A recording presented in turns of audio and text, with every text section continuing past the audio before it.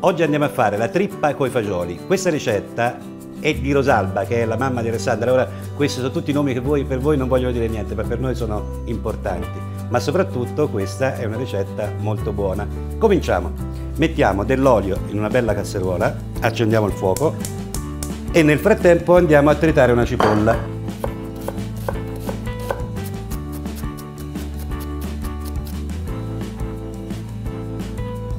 Ora vado ad aggiungere un peperoncino, un po' di menta secca, ci vorrebbe la mentuccia, non ce l'avevo, ho questa menta che è spettacolare e mento questa. Così per l'inizio diciamo 5 foglioline vanno più che bene.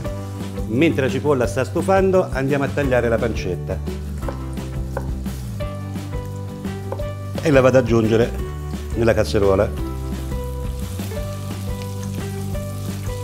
Quando la pancetta comincia a diventare trasparente, lo vedete è quasi traslucida, è il momento in cui si va ad aggiungere la trippa. Trippa già tagliata, precotta ovviamente. E facciamo insaporire bene. Ora si vanno a preparare i pomodori. I preparare, in realtà sono pomodori pelati che vado a frullare. Se non volete utilizzare i pomodori pelati, della salsa di pomodoro va benissimo. E vado ad aggiungere il pomodoro.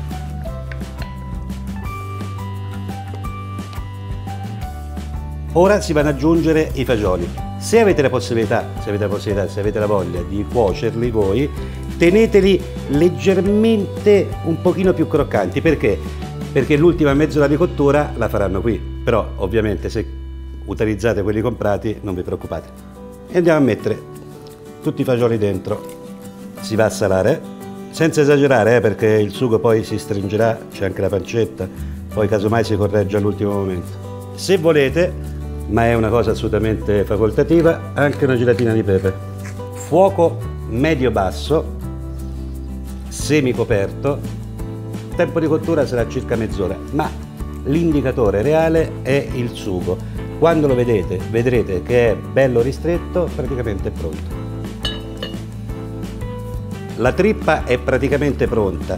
Vedete tu questa quantità di sugo? Potete farla stringere ancora un altro pochino, ma vi posso assicurare che è perfetto per la scarpetta, quindi io vi consiglio di non farla tirare troppo. L'ultima cosa che andiamo ad aggiungere sono altre foglioline di menta secca, le mettiamo proprio all'ultimo momento, così, giriamo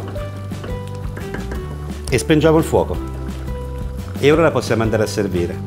Il vero segreto di questa trippa lasciarla qui e mangiarla domani, riscaldata, fenomenale.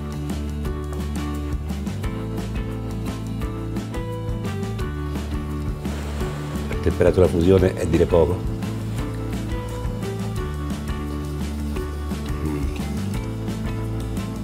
Fantastica. Questa serve. Neanche le posate.